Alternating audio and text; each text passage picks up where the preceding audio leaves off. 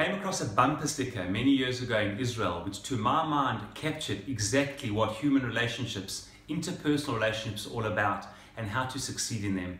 Unfortunately, many years ago, as today, where the, uh, the accident rate and the mortality rate on the roads in Israel is very high, there was a campaign to try and stop people from driving recklessly.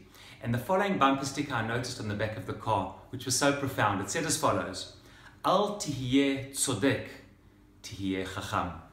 You don't have to be right, you have to be smart.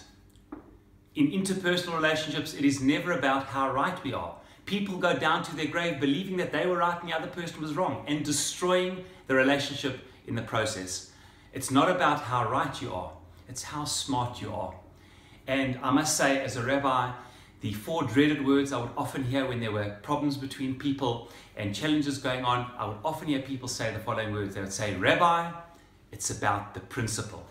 And I would say, no, it's never about the principle. It's about the person. If you want to get on with people, the biggest impediment, the biggest um, barrier is principles. If you're going to hide behind principles and say, I need to teach people lessons, and they were wrong, and it's a principle, I'm looking for justice and principles, you will destroy human relationships. Where are principles important? Between man and Hashem, absolutely be a principled person. Business dealings, be principled. But when it comes to sensitive issues between people and getting on with people, it's never about the principle. It's about the person. The principle is secondary. The person is primary. Are you getting on with people? Are you able to get past the principles and actually get on with people? And I want to end with an incredible Talmudic piece in Masechet Bava Metzia Daf Lamed Amud Bet, a teaching of Rav Yochanan, which goes to the heart of what the three weeks of mourning are all about, the Churban Beit HaMikdash.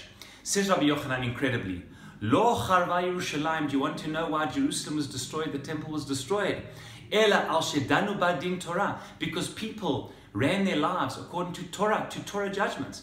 The Gemara says, what? Of course people need to run their lives according to Torah judgments. No, says the Gemara, and here's the impactful words. It says, Lo avdu lifnim mishurat hadin. Emidu dinehem al din Torah. Yes, they ran their lives according to din Torah. But what did they not do?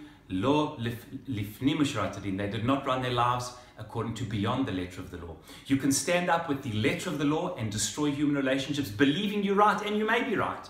But you've rather got to go to the spirit of the law. And the spirit of the law is this that ultimately Jewish law, especially Choshen Mishpat about interpersonal relationships, is simply are we able to get past the letter of the law and are people able to get on with each other? The spirit of the law is that Hashem wants people to get beyond sinat chinam, beyond their judgments, beyond their principles and what they feel are they are so just about and so right about, and to be smart to get on with each other. And may we, during these three weeks leading up to Tisha B'Av, may we, Be'ezrat Hashem, put our principles with people aside and first and foremost see the person, that Hashem wants nothing more, that we're able to get on with each other each and every day uh, in a way that brings us closer together and not further apart.